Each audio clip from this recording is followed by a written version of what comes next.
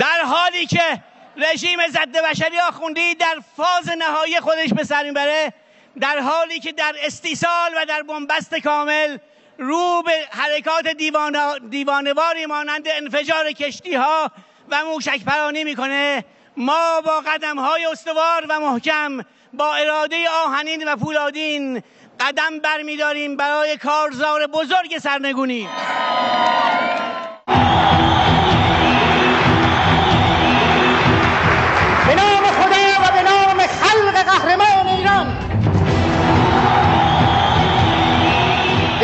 شهیدان به نام یکصد هزار جاودان فروغ آزادی و به یاد زندانیانی که در شکنجگاه های رژیم خمینی مقاومت می‌کنند.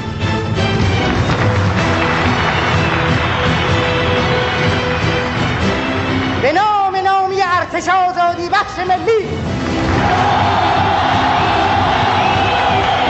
به نام سی خرداد لیلت القدر.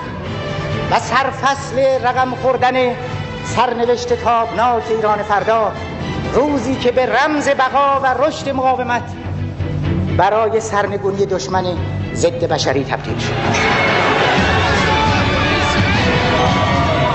ولی امروز ما همچنان افتخار می‌کنیم که وقتی گفتیم مرگ بر ارتجا پاش ایستادیم و تا آخرین نفس و تا آخرین قطره خون هم خواهیم ایستاد همچنان که گفتیم سرنگونی سرنگونی سرنگونی.